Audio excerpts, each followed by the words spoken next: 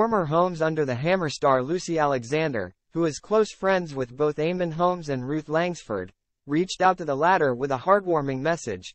It comes after the Loose Women presenter, 64, shared an adorable video of her mum alongside the former couple's pet dog Maggie. The post, shared on Sunday, June 2, was captioned, Lovely day spent with my darling mum. Sunshine, music, dancing, sherry, lunch, crosswords in the garden and Maggie. Making memories music by her favorite at Emrant and Dubik hashtag Sunday hashfamily. Zacking to the comment section on Tuesday evening. Pal Lucy offered some kind words to Ruth in the wake of her marriage split. She penned, Just what you need, Mum Maggie Cuddles. I reckon you should have a swig of Joan's Sherry, laughing emoji. Love you.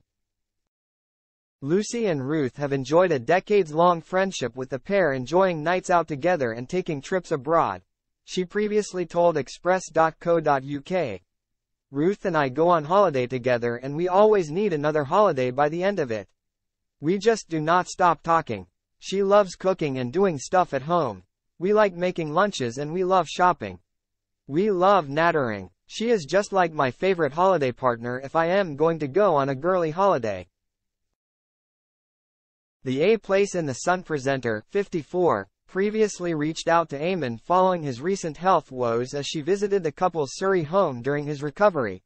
Yeah, I was over there with them watching the football, one Saturday. Over at the Holmes household, Lucy shared in a candid chat last year. He's alright. He's putting a smile on his face every day. He's getting there, she went on. It's funny because whenever we have a girly night and we go over there, it's four of us. We all get together. It was our Christmas do, we call it, where we all swap and give each other presents. It's always the four girls and Eamonn. We're like, what are you doing in here?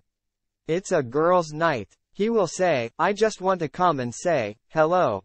The news of the former TV duo's split was announced last month.